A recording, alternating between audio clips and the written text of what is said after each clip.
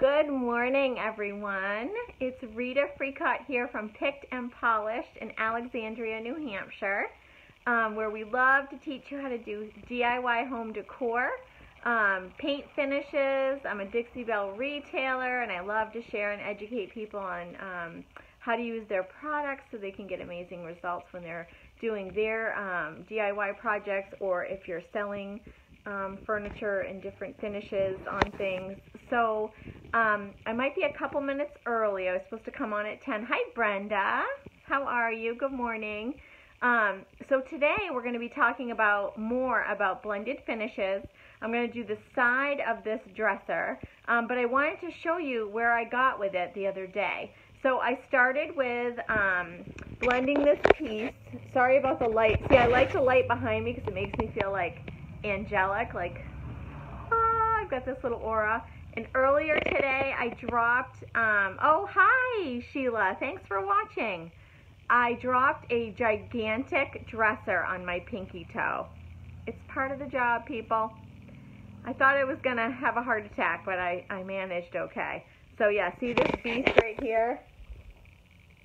I'm going to be painting that for my daughter. It's going to be a rainbow bohemian finish is what she requested. She's six years old and she's a whole lot of girl in a little body. So it is not surprising to me that she wants a rainbow bohemian blended dresser for her bedroom. So that's up next. Dropped it on my toe this morning, um, but I'm feeling better. I can hobble around. And now I've got um, this beautiful dresser behind me. I'm hoping to help you with some blending tips um, and everybody has their own style, so by no means am I saying that mine is the only, my style is the only way to do it. Hi, Lynn. Um, hi, Anne-Marie. You could do it like a million different ways, but I just going to share how I approach um, a blended finish. And so this is a dresser I was working on the other day. I'm going to come away from it a little bit so you can see it better. Um, let me get a different viewpoint. And pretty soon I'll have my camera on a, um, can you guys see that okay? I'll have my camera on a, um, there we go. I'll have my camera on a little, what do you call it, doohickey, so it won't be so making you dizzy. Um, but you can see it, it's a gradual um, change from the dark navy um, to a mixture of the Stormy Seas and the navy, and it gets progressively lighter here. And then the Stormy Seas is my lightest color here. So I'm working with two base colors. Um, and so I will, I'm going to move over to the other side and I'm going to do the other side with you while I have you um, live. So I'm going to put my camera, um, I'm going to put my camera in its little tripod thingy so that my camera's not shaking and moving around so you can see um, uh, how I get the finish again. So with this piece, I'm just going to recap real quick. It was really dark. Um, stained old finish. So I started by cleaning really well with White Lightning inside and out. Um, I did a rinse with water and then I didn't do any sanding. Um, I did Boss, which is the stain blocker, and it also blocks odors. So I put um, a one thin coat of the Boss on there. And then, and that's also something you can get on my website. I use the clear Boss, but you can use the white Boss too. Um, and then I did a base coat in Stormy Seas. I always do a base coat when I um, blend colors so that when I'm moving the paint around, that the, the wood isn't showing through if I don't want it to be. So sometimes you might want to blend colors and you might want like a dry brush look. And you might not care that the wood shows through. You might actually want the wood to sh show through. But in this custom order, um, I'm sort of replicating a finish I did before, and in that situation, none of the wood showed through. So I did my base coat and then I started at the bottom with my in the navy, my darkest color. I blended the two colors together in the middle. I sort of planned out where I wanted one color to start and one color to end. And then I went with the Stormy Seas up top. So I'm going to move my camera around to the side. Try not to make you guys too dizzy. Let's see. If you want to share where you're tuning in from while I do this, that would be great. Um, and I'm trying to see if, okay, so this is the side of my dresser. Um, I'm probably going to see mostly my hands today because I kind of want to show you, this is just my shadow here. So I want to show you how um, I blend this piece. So I also want to announce the winner of the free Dixie Belle 8 ounce paint from yesterday, and that was Lori Sharp. Yay, Lori, you won your color of choice in an 8 ounce paint, and I can have that either shipped to you or you can pick up. It's up to you. So we've got um, we've got someone from Sarasota, Florida. She's a newbie. Saw you before paint and blended blue navy with a lighter color was great. Thank you. I'm so glad you you liked that. I hope it was helpful. Um, and if you guys ever have questions, um, I'm a Dixie Belle retailer here in New Hampshire, but I can help you via Facebook Messenger and ship anywhere in the USA. Um, and most of the time shipping is only like $10. So I'd be happy to help you via Messenger or we can even do FaceTime. Um, if you need some help and want to book some consult time with me, we can do that too. So, um, hi Lori, thanks for joining. Um, and so today I'm just working with my base coat again, which is the Stormy Seas. Um, hi Kellyanne, how are you? Um, I've been meaning to call you. We need to hook up and go to the beach. Um, I was just telling everybody I dropped a big dresser on my toe, my pinky toe this morning when I was moving it around. But it's part of the job, people. If you're not, if you're going to be refinishing furniture, you better be ready to drop some heavy things on your tootsies. So, um, I always prep. I have, um, even though I worked on this yesterday, I still go back and I kind of wipe off the surface because I know overnight sometimes dust collects on pieces. Um, and so I'm just going to quickly wipe them off. Hi, Susan. Um, and so the other thing I wanted to tell you that sometimes get people, this gets people in a panic in my workshop sometimes. Um, see how this really dark color here? If I wipe it with my finger or um, something kind of rubs against it. The paint doesn't scratch off, but because it's a super chalky finish, um, it's a chalk mineral based paint, the Dixie Belle, whenever you're using a dark saturated color, if you wipe like a dark red or a black or a dark blue, if you wipe your hand across it, um, or something rubs against it, the paint likely won't scratch off once it's cured, but it might leave like a chalky mark or a fingerprint or whatever. Um, and so I always clear coat or wax my, um, my dark colors for that reason. However, I want you to know that if you distress a dark color, and if I were to distress this dark blue, it would turn like a chalky, like lighter blue in those areas. Or if I were to distress a dark red, it might look like a pinkish when I distress it. But then people, that's when people get in a panic. And I always say, don't get a panic. My dad, my old school Greek dad used to always say that in his little accent, don't get a panic. So you don't get a panic. You just, when you clear coat it, it evens out the finish right back to where it was. So even if you get, um, you know, you start distressing, you're like, oh my gosh, I've ruined my finish. No, no, you haven't. You're just going to clear coat it and it'll even out that color right back to where it was. Or if you have fingerprints or little um, lighter areas where someone's rubbed against a darker finish, you can um, you can just clear coat or wax and it'll it'll bring it right back to the original color. So don't panic about that. That came up today because I had done that on the front of the dresser and I thought that might be something helpful to share. So I'm going to go ahead and get started. I've already kind of wiped this off um, just to make sure it hasn't collected too much dust overnight, because sometimes that happens. Um, and I'm going to get started. And I want to show you that I saved my, um, I saved my paint palettes from yesterday on the paper. This is my darker, medium, like mixed shade. Um, this is my kind of in-between transition. Um, and this is my like almost stormy sea shade. So I kind of kept those so I could color match a little bit today when I'm doing, um, trying to match like, this is where my navy ended, this is where the new color starts, this is where it gets a little bit lighter, and this is where the, this is where the um, stormy seas start. So I save my dried paint palette plates for that reason. And um, paint colors typically dry darker they look darker once they're dry. So when I mix my colors, they're not going to necessarily match exactly, but I can have a gauge of, okay, that's pretty close. I can use these as like um like a kind of a, a guide to help me blend to match the front of the dresser on the side because I didn't do it all on the same day. So let me know where you're tuning in from. I'm also here to help you with questions. Um, and if you have your own chalk paint projects you're working on, doesn't have to be Dixie Belle. I can help with any questions that you might have. And if I don't know, um, I can try to find out the answer for you um, with someone else that might that I might know that might have the answer. So feel free to ask questions as we go today. Uh, again, my name is Reta Freecott, and I'm in Alexandria, New Hampshire, but I help people all over the U.S. with um, chalk painting, um, finishing ideas, and projects, and I supply Dixie Belle paint and finishing products. So I'm going to go ahead and get started. I always start with a damp brush. This is my Cling On brush, but Dixie Belle has just started making synthetic brushes like this that I can't wait to try. I have some on order now.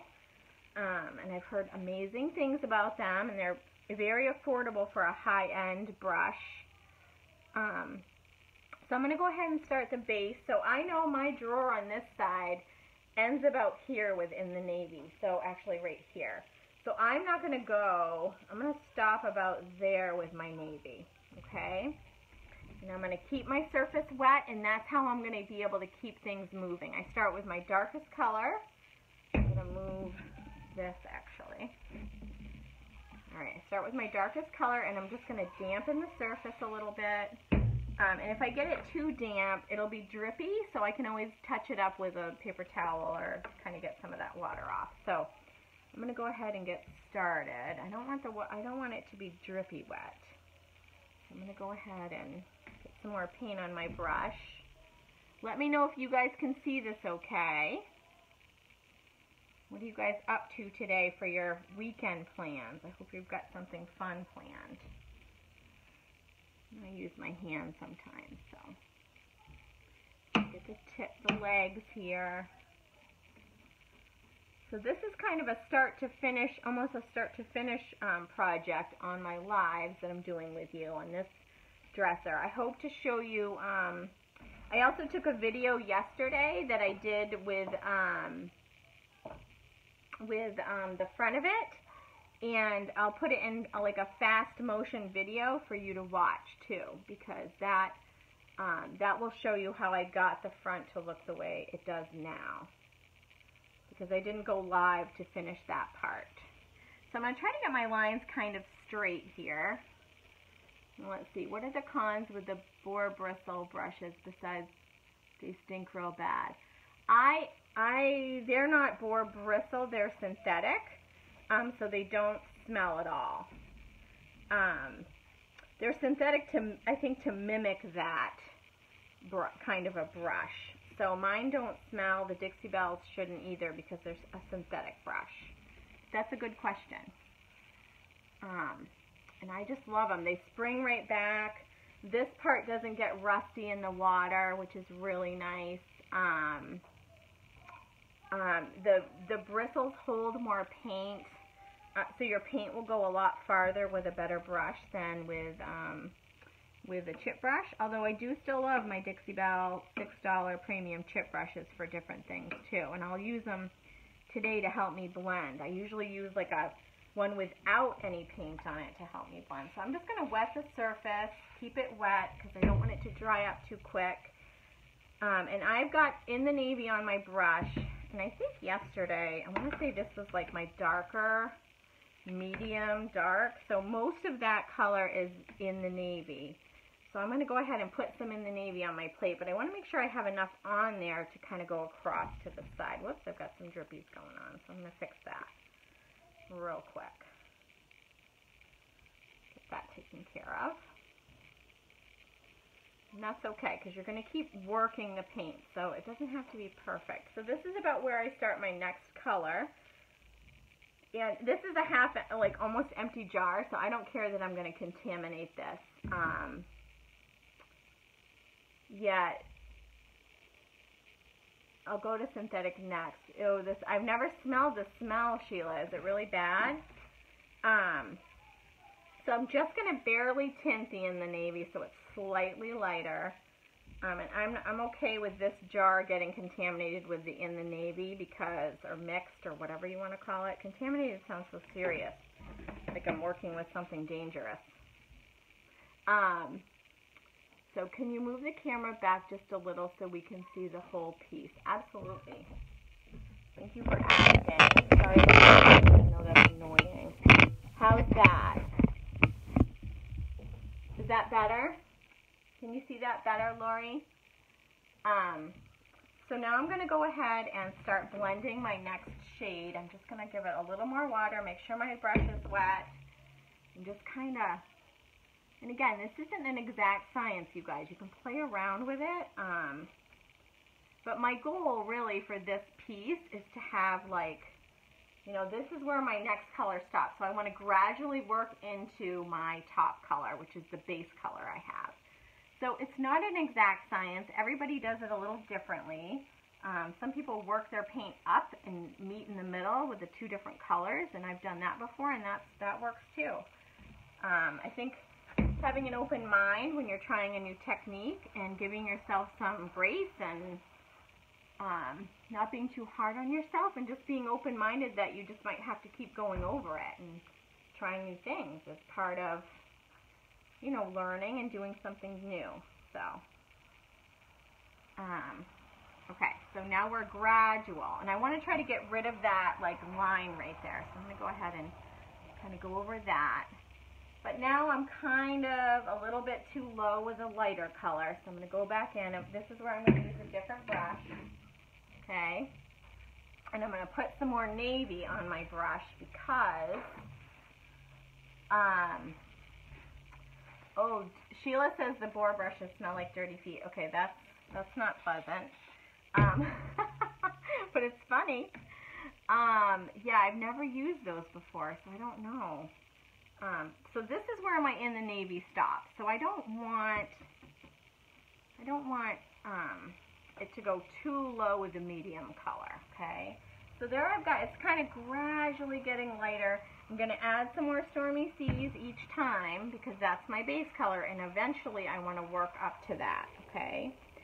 So I'm going to use my chip brush and just kind of mix until I feel like, see like that's I think a little too light, so I'm going to go a little bit darker. And again, worst case scenario, I don't like the way it looks, I paint over it. Or I get it a little more wet and I blend a little more. So really nothing to be afraid of. It's just kind of giving yourself time to practice and try different techniques and find the one that works best for you. You see how it's gradually getting lighter? It's not like a stark, I don't want a stark line here. I want to kind of work it work it together. And then right about here, I want it to get even lighter so that it really blends with the, um, with the Stormy Seas. Make sure I'm getting my sides here. Whoops. Got a little spot here that I missed, so no big deal. I'm just going to go in with my other brush. So one thing to be careful of is just that you're, you're not careful of, but just that you're mindful of what brushes have what. I got a little hair on there. I'm just to scratch it off um, what brushes have what colors on them. Okay, does that look pretty straight to you guys? Any questions or um, things you're wondering about, products you're wondering about or wanting to try that you've been trying to get information on? I'm happy to help you. Um, okay, so now I want to work it closer to the Stormy Seas because that's my base. To do another workshop with blending, this is something I need to get nervous about and want to do it. You know what, Kellyanne? I've had a lot of people interested in this, and we squeezed it in in the um, boot camp. So the paint finishing boot camp I offer is a good one. See, that's too light, you guys. It's way too um, stark. So I have for what I'm looking for. So I'm going to wet my brush again and add some more in the navy and lighten and darken that a bit because it's too, and that's too dark, see? I went from like too light to do too dark. So I'm not going to get in a panic. I'm actually going to get a new brush. I'm not going to worry too much. I'm going to kind of blend that out. See how that's not a big deal. And it actually worked out okay because I had too dark over too light. And so now look at it. It was a happy accident. Look at that. So now it blends. Sorry, Kellyanne, I got distracted. You know, that happens easily with me. So there we go. That blends beautifully into the other color. So I'm just going to leave it at that. Um, and I'm careful not to go down and touch up down here because what's going to happen is I would end up um, making a big light mark with this brush down here. So, you, you know, your brain sometimes wants to go and touch up real quick, but you have to think about what color's on your brush. Um, and if you do and you, you know, something doesn't come out the way you want it, it's okay. You just paint over it. I'm going to kind of blend these sides too a little bit. Be careful not to go too low. And then the top is going to be the um, Stormy Seas. So I'm going to work my way with that. Another brush. So this is why I say get lots of brushes ready to go. I have the $6 chip brushes on my website. I have the link above for my products. Love your videos as you explain everything so well as you paint. Thank you, Lori. That means a lot to me. I used to be a teacher, and so this is like a passion of mine to share and kind of learn from each other. I've still got a lot to learn, but I love to teach. So, um, difference when paint with grain versus against the grain. That's a good question. Um, so it depends on the finish you're going for. So I don't want to get a lot of drippies on the paint that I've already done. And if I was using a squirt bottle and pumping it, I would get drip marks, especially on the dark colors. So I want to be, I don't want to mess with my, oh shoot, see I got talking, look what happened. I got, I, I can't do two things at once, you guys. I got talking, I did the wrong color, but what, what am I going to do now? It's no big deal. I'm going to paint over it with a little bit of the Stormy Seas, and you won't even know that was there. I'm actually going to take my cloth, and it's good, I feel like it's good when I kind of mess stuff up, because then you guys can see how we fix it, and we kind of move on. And like this one was a happy accident. So that one I didn't even mean to do and it worked out in my favor. So this I want to be just the stormy seas. So I have to be, I'll get back to your question in just a minute. I haven't forgotten. She had a good question about um, painting against the grain or with the grain. And actually, Depends on the finish you want. I think for blending, it doesn't matter so much if you're going for a smooth finish anyway. Um, but look how good the paint adheres, you guys. I'm like wiping it hard with water, and I just painted this yesterday, this side. And it's not wiping off. Um, Alright, so now I'm going to go over that with Stormy Seas. With another brush. Um, so if you're looking to do like a um, like a rustic finish and you want a lot of texture, I like to cross hatch, and cross hatch is just going across and up and down, across and up and down. I like to go across because it picks up the grain. But when you're painting, I really don't feel like going with the grain because this paint will, so this paint will kind of um, fall into the grain, especially as you wet it. Do you notice that it like gets rid of the graininess of the wood? And that's especially good when you're doing like cab your kitchen cabinets and you have like oak, really oaky, grainy stock cabinets. It's really nice that you can just dampen your brush or the surface and um, and you start, it like blends into the grain. So with this type of finish, I don't really worry about grain direction. Um, but with other finishes, if you want a textured look, you can go against the grain. It will give you a little bit more rustic of a feel. All right, so now I just have Stormy Seas on my brush. And this will look different as it dries, you guys will notice. And then I'm definitely wanting a clean Stormy Seas color up here. Right, and I always paint like the under parts and I just want it to be really finish. This is a custom order for um, a little boy's bedroom, a nursery. He's going to be using it for, mom's going to be using it for, um, for his changer. So that's exciting. And I'll be doing like um, a wave pattern on the sides of the drawers. But like underneath here, it's pretty grainy. And I've got my brush wet and I've got some paint. And if you wet your brush, the paint will fall right into the grains and smooth and even out the surface for you guys see that? Everything I'm doing okay? Just gonna get that going. Okay, so that's painted. This is painted. I'm gonna give this side a little something something. Here we go. Um, my jiggly arms in the way, but that's okay. You think all this painting I did, I would have toned arms, but no, I don't. Um, Kelly Ann, you're too funny. I love you. Don't get. A, I don't get a panic. You know that about me, baby. I don't. Um, thanks, Betty. So Kellyanne, about the blending workshops, I think um, we, we I added it to my boot camp, but it really is a technique that you could almost do in like you could spend three hours practicing it. I mean, it's a full workshop in itself. And I was almost thinking about if anyone would be interested in like doing a um, ordering some product and then doing like a, a live video um, workshop with me so that no matter where you live, you could learn how to do it with me and it would be private. It would be live, but it would be private and it would also be recorded so you could go back and look. And then I would do like a Zoom call with you or a FaceTime call and follow up with you to see how your project's going. So let me know, message me, or just comment here if any of you would be interested in something like that because I could set that up too. Um, so here we go. We've got a beautiful blended finish here.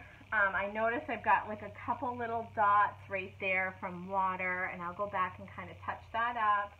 Um, the thing about blending, though, is when you touch things up, you have to try to color match. Otherwise, you kind of end up doing the whole side all over again. Um, and so next up is this dresser. I'll be finishing the other side today.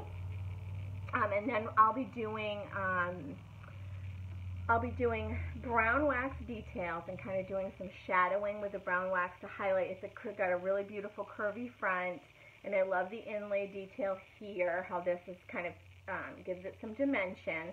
So I'll be doing some waxing, brown wax with that, and the Best Dang Wax. It's on my website too.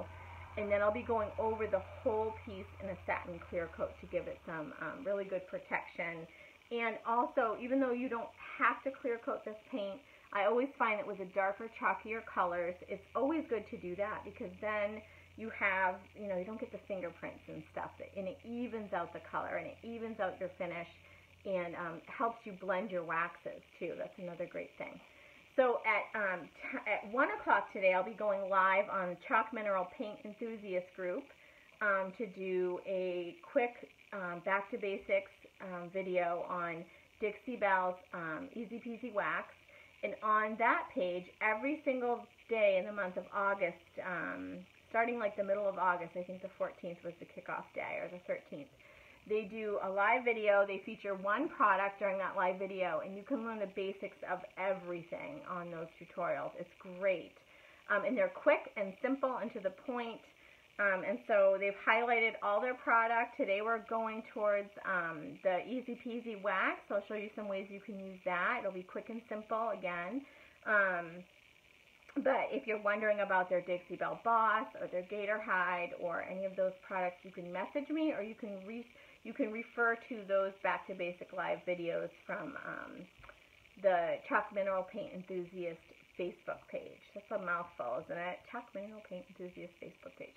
So um, you'll have to check that out. I'll be there at 1 o'clock today, um, and I will be posting the link to it. So if you're wondering what page it is, I'll post the link so you can just click and like and follow the page, and then I'll pop up at 1 o'clock. Um, and so it's the Easy Peasy Spray Wax I'll be doing today. And then I, I think tomorrow they're doing gilding wax, so that will be fun too. But anyway, let me know if you have any questions. I hope this is this tutorial was helpful to you.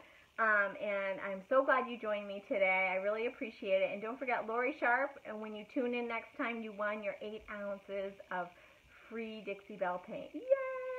So, um, you guys have a great day, and I'll see you at 1 o'clock on the Chalk Mineral Paint Enthusiast page. Bye!